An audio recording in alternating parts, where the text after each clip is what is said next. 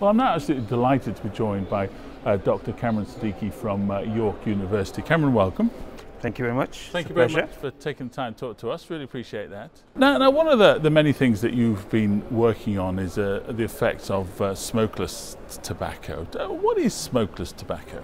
So, smokeless tobacco is, a, uh, is a, actually a number of products, smokeless tobacco, which are consumed uh, orally and chewed without burning. So, it's a form of uh, tobacco that's consumed without burning. And it comes in a whole variety of forms and it's consumed in many countries, most commonly in South and Southeast Asia. But uh, we're reporting for the first time that's actually consumed by 116 countries.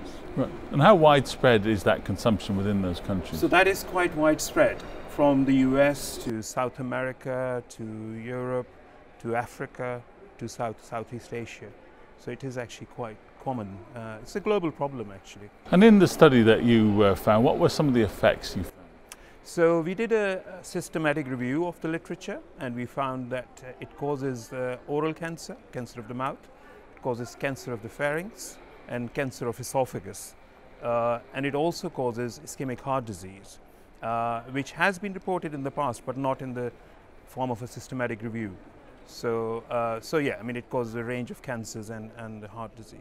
And, and are there any particular types of community that it affects the most? Uh, like I said, I mean, most of the evidence come from uh, Sweden, India, uh, Bangladesh, and the US.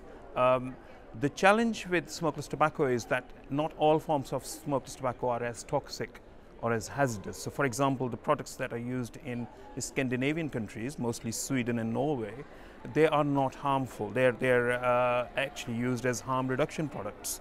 And uh, the levels of the uh, the cancer agents, uh, what we call is TSNAs, uh, they are actually quite low in those products. But on the other hand, if you go to the other end, uh, in India, those those components are very high in smokeless pro products. So I think that the, the, the, products that are used in India, for example, and also in Central Asia and in Africa, they are quite harmless, harmful, and, and they cause cancer and, and ischemic heart disease. And what, what can be done so, uh, I mean, it's basically implementing the Framework Convention for Tobacco Control uh, for smokeless tobacco.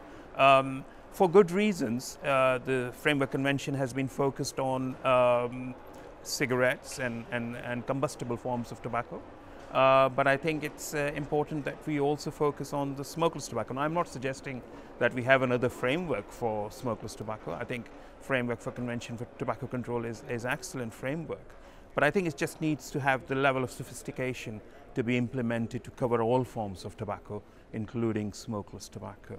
So, so one of the findings of our study is that it causes about uh, more than a quarter of a million deaths in the world, and that's quite high. Um, and it also uh, causes disability, and we've estimated about 6.4 million disability adjusted life years that can be attributed to smokeless tobacco. Well, Kamran, thank you very much indeed for joining us. Really appreciate it. Thank, thank you. you very much. Pleasure. Thank you.